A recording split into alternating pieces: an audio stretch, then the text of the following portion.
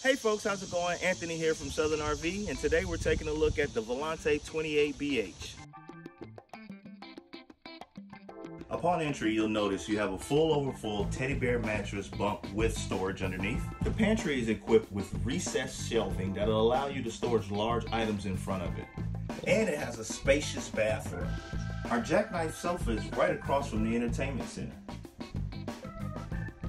The sofa and dinette both convert to beds to accommodate guests. Our kitchen also has a very large sink, microwave, three burner stove, and a refrigerator with a freezer on top. The main bedroom features a king size bed and its own entry door.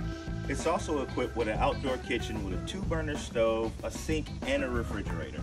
Another great feature is the on-demand hot water heater. Who doesn't like instant hot water?